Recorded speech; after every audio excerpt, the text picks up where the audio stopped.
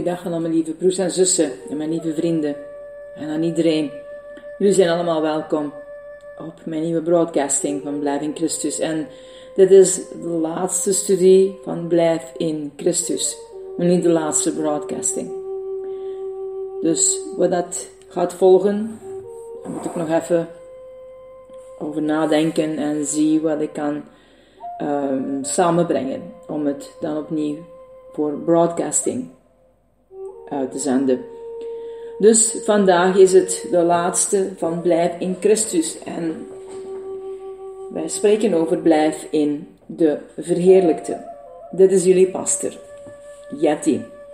En het schriftgedeelte voor vandaag is van de brief aan de Colossensen 3, de versen 3 en 4. Uw leven is verborgen met Christus in God. Wanneer Christus zal verschijnen, die ons leven is, zult gij ook met hem in heerlijkheid verschijnen. Hij die in Christus de gekruisigde blijft, zal weten wat het is met hem gekruisigd te zijn, en in hem inderdaad dood voor de zonde te zijn. Hij die in Christus de opgestane en verheerlijkte blijft, krijgt op dezelfde wijze deel aan zijn opstandingsleven en aan de heerlijkheid waarmee hij nu in de hemel is gekroond. Onuitsprekelijk groot zijn de zegeningen die vanuit de eenheid met Jezus in zijn verheerlijk leven naar de ziel toestromen. Het leven is een leven van volmaakte overwinning en rust. Voor zijn dood moest de Zoon van God lijden en worstelen. Kon hij verzocht en gehinderd worden door de zonde en haar aanvallen. Als de opgestane heeft hij over de zonde getriomfeerd. Als de verheerlijkte ging zijn menselijkheid deelnemen aan de heerlijkheid van de Godheid. In de gelovige die in hem als de verheerlijkte blijft, die geleid wordt om te zien hoe de kracht van de zonde en het vlees inderdaad vernietigd is, wordt het besef van volkomen en eeuwige bevrijding steeds duidelijker. De gezegende rust en vrede, de vrucht van de overtuiging dat overwinning en bevrijding een voldongen feit zijn, nemen bezit van het leven. Blijvend in Jezus, in wie Hij is opgestaan en gezeten is in hemelse gewesten, ontvangt Hij van het glorieuze leven dat uit het hoofd door ieder lid van het lichaam stroomt. Dit leven is een leven in volle gemeenschap met de Vaders liefde en heiligheid. Jezus gaf dikwijls voorrang aan deze gedachte bij zijn discipelen. Zijn dood was een gaan tot de Vader. Hij bad: Verheerlijkt gij mij, Vader, bij uzelf, met de heerlijkheid die ik bij u had, eer de wereld was. Als de gelovige die in Christus de verheerlijkte blijft, tracht te beseffen en ervaren wat zijn vereniging met Jezus op de troon inhoudt, begrijpt gij hoe het volle licht van de tegenwoordigheid van de Vader, Christus hoogste heerlijkheid en gelukzaligheid is, en in hem ook het deel van de gelovigen. Deze leert de heilige kunst om altijd in gemeenschap met het verhoogde hoofd te verblijven in de geheime schuilplaats van de tegenwoordigheid van de Vader. Toen Jezus op aarde was, kon verzoeking hem nog bereiken. In de heerlijkheid is alles heilig en in volkomen overeenstemming met de wil van God. En zo ondervindt de gelovige die in hem blijft, dat in deze verheven gemeenschap zijn geest geheiligd wordt tot steeds grotere eensgezindheid met de wil van de Vader. Het hemelse leven van Jezus is de macht die de zonde verdrijft. Dit leven is een leven van liefdevolle, goedgunstigheid en werkzaamheid. Gezeten op zijn troon deelt hij zijn gaven uit, schenkt zijn geest en waakt over de zijnen en werkt voor hen in ononderbroken liefde. De gelovige kan niet in Christus de verheerlijkte blijven, zonder aangespoord en gesterkt te worden om te werken. De geest en de liefde van Jezus ademen de wil en de kracht in ons om een zegen te zijn voor anderen. Jezus ging naar de hemel met het doel om daar macht te verwerven, ten einde overvloedig te zegenen. Als de hemelse wijnstok doet hij dit door middel van zijn volk, die als ranken aan hem vastzitten. Wie in hem blijft, draagt dan ook veel vrucht, want hij ontvangt de geest en de kracht van het eeuwige leven, van zijn verhoogde Heer, en wordt een kanaal waardoor de volheid stroomt van Jezus. Hij werd verhoogd ten einde koning en bevrijder te zijn, en om hen die rondom hem vergaderd zijn, te zegenen. Er is nog een gedachte in verband met dit leven van de verheerlijkte en ons leven in hem. Het is een leven van wonderbare verwachting en hoop. Ook met Christus is het zo. Hij is gezeten aan de rechterhand van God, wachtend tot al zijn vijanden onder zijn voeten zijn getreden en uitziende naar de tijd waarop hij zijn volle loon zal ontvangen, wanneer zijn heerlijkheid openbaar zal worden en zijn geliefde volk voor eeuwig met hem in de heerlijkheid zal zijn. De hoop van Christus is de hoop van zijn verlosten. Ik kom weder en zal u tot mij nemen, omdat ook gij zijn moogt waar ik ben. Deze belofte is even waardevol voor Christus als zij voor ons kan zijn. De ontmoeting is zeker niet minder vreugdevol voor de komende bruidegom als voor de wachtende bruid. Het leven dat Christus in heerlijkheid heeft, is een leven van verlangend verwachting. De volle heerlijkheid komt niet eerder dan wanneer zijn geliefden met hem zijn. De gelovige die hecht met Christus blijft verbonden, zal met hem delen in deze geest van verwachting. Niet zozeer ter verhoging van persoonlijk geluk, maar vanwege zijn enthousiastische verknochtheid aan zijn koning. Verlangt hij ernaar hem in al zijn heerlijkheid te zien komen, als de volle openbaring van Gods eeuwige liefde, heersend over iedere vijand. Tot hij komt is het wachtwoord van iedere oprechte gelovige.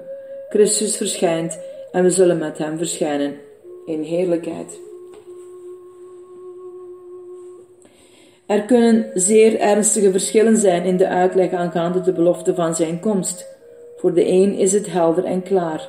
Het is de dag waarop hij zeer spoedig in hoogst eigen persoon zal komen om de aarde te regeren. Die spoedige komst is zijn hoop en zijn houvast. Voor de anderen, die overigens zijn Bijbel en zijn heiland niet minder lief hebben, kan de komst niets anders betekenen dan de oordeelsdag de plechtige overgang van tijd naar eeuwigheid, de afsluiting van de aardse geschiedenis en het begin van de hemelse.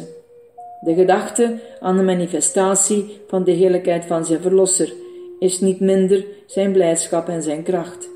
Het is Jezus, Jezus die wederkomt, Jezus die ons tot zich neemt, Jezus aanbeden als Allerheer.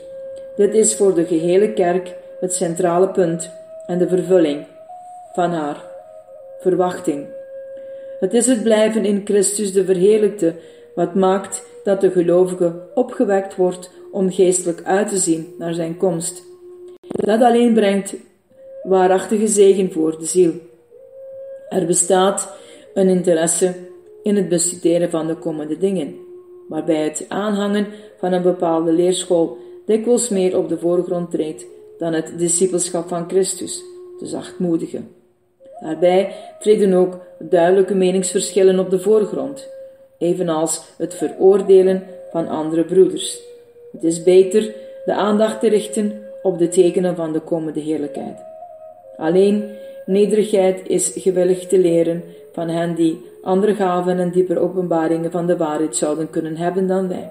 De liefde die altijd vriendelijk en zachtmoedig spreekt over hen die de dingen anders zien dan wij, en de hemelsgezindheid die laat zien dat de komende inderdaad reeds ons leven is, zal de kerk of de wereld ervan overtuigen dat dit geloof van ons niet geworteld is in de wijsheid van de mens, maar in de kracht van God. Om van de heiland te kunnen getuigen als van de komende, moeten wij in hem blijven en het beeldenis dragen van hem als de verheerlijkte. Nog de juistheid van onze opvattingen hierover noch de oprechtheid waarmee we deze verdedigen, zullen ons, voor, zullen ons voorbereiden op de ontmoeting met Hem. Alleen het blijven in Hem kan dat doen. Dan kan pas het verschijnen van Hem in heerlijkheid de betekenis hebben die bedoeld is. een gedaanteverwisseling, een doorbreken en uitstralen van de inwonende heerlijkheid die heeft gewacht op de dag van openbaring. Gelukzalig leven, het leven verborgen met Christus in God, een plaats gegeven in de hemelse gewesten, in Christus Jezus, blijvend in Christus de verheerlijkte. Weer rijst de vraag op: kan een zwak kind van de aarde werkelijk in gemeenschap leven met de koning der heerlijkheid? En weer moet het wonderbare antwoord gegeven worden.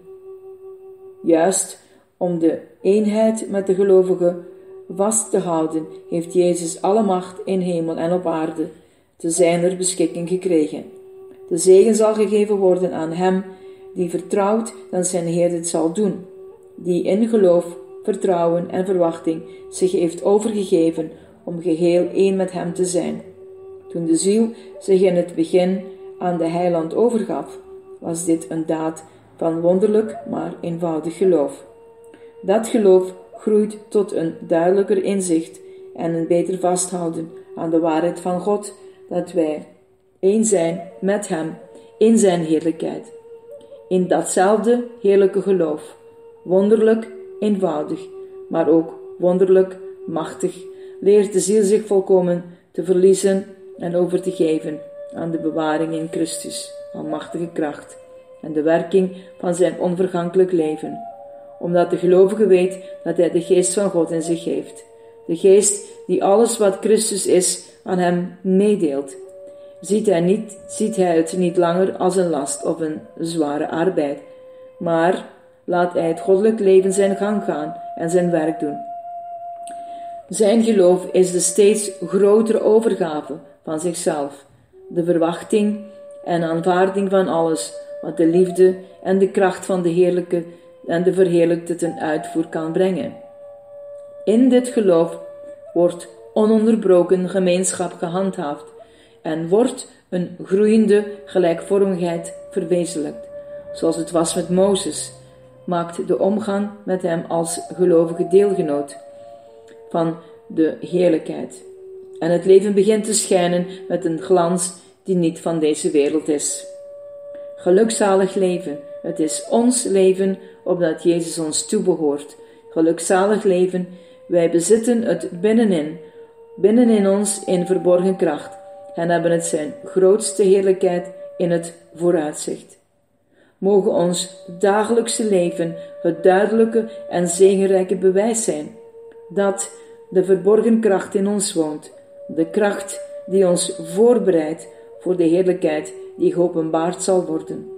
Mogen ons blijven in Christus de verheerlijkte, onze kracht zijn om te leven tot verheerlijking van de Vader. En onze bekwaamheid om te delen in de heerlijkheid van de Zoon. Ik wil afsluiten met één Bijbelvers van de kleine brieven aan Johannes, 1 Johannes 2, vers 28. En nu, kinderkens, blijft in Hem, opdat wij, als Hij zal geopenbaard worden, vrijmoedigheid hebben en voor Hem niet beschaamd staan bij Zijn komst. 1 Johannes 2, vers 28. Tot hier deze studie van Blijf in mij. Je kan altijd opnieuw teruggaan, mijn lieve mensen, om het opnieuw te beluisteren en het te gebruiken in uw gebed of in uw eigen studie of voor gelijk wat.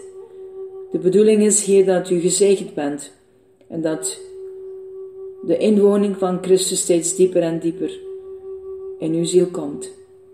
We weten dat God ons de gave al gegeven heeft, de Heilige Geest. Laat Hem in jou regeren. Laat Hij jou de wijsheid geven en het inzicht en alles wat u nodig hebt. Geleefd vanuit Christus, verbonden in Hem.